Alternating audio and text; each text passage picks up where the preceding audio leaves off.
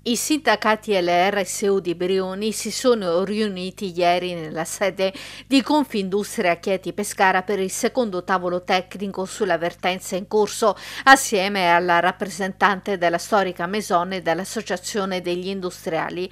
All'ordine del giorno il confronto sulla gestione degli ammortizzatori sociali. In ballo il futuro di 321 lavoratori dello storico marchio dello stabilimento di Penne.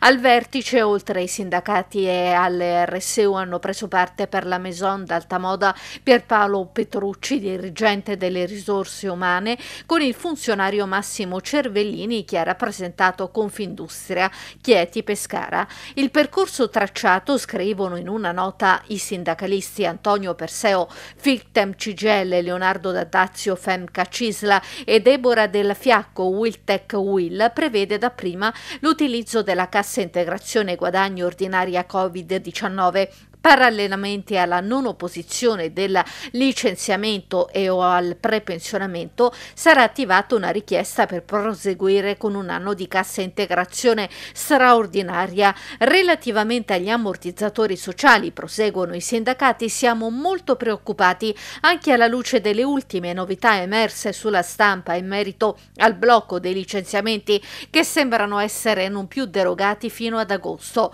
L'impianto dell'accordo è in fase di di costruzione focalizzato su un incentivo modulato a seconda la tempistica di uscita e alla vicinanza ai requisiti pensionistici. Ribadiamo con forza e ci rivolgiamo al tavolo del Mise e a tutti gli attori partecipanti di agire concretamente e celermente per orientare l'avvertenza alla migliore soluzione possibile con l'obiettivo di limitare l'impatto sociale. Noi faremo la nostra parte fino in fondo per salvaguardare il maggior numero di posti di lavoro. A proposito di questo, conclude la nota, faremo una nuova assemblea sindacale con le stesse modalità via web nella mattinata di martedì del primo giugno. Insomma, c'è il rischio che gli stabilimenti brioni dell'area vestina, non solo Penne, anche Montebello di Bertone e Civitella Casanova, possano perdere centinaia di posti di lavoro. Per questo sindacati ed RSU si stanno battendo.